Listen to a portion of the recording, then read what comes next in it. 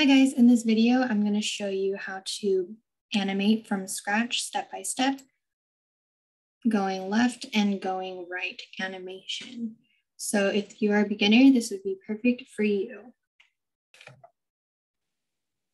Okay, so the first thing you want to do in your project is add a div block, and then you can also select Control E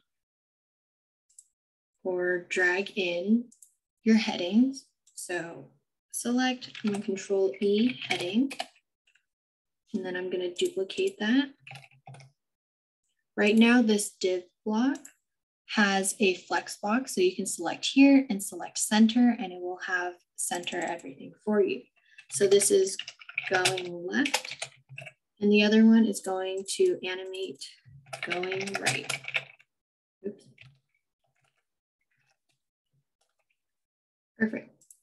So now what you want to do is go to the panel on the right, select interactions, select page trigger, and then while page is scrolling, select your action option as play scroll animation, and we are going to add a scroll animation.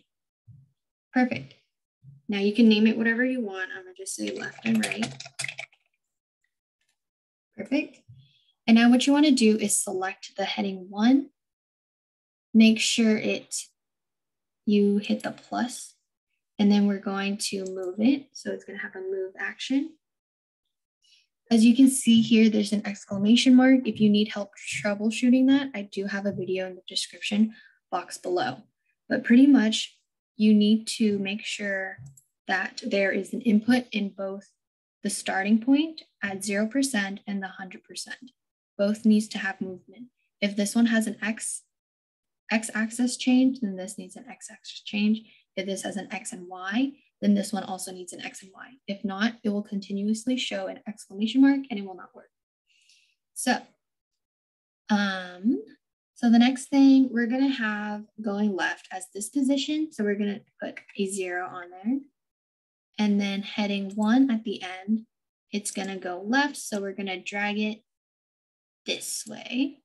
And then same thing for going right. We're gonna select on it, hit the plus button, select move, and it's going right. So we select zero, click enter, and then at the bottom, let's duplicate that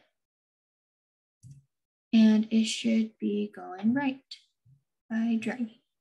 There you go. So if you select a live preview, it should animate going left and right. Ta-da! I hope this was helpful. If you do run into some issues, please leave a comment down below or check out that other video that I will also link down there that might help. Also, please like and subscribe. Thank you.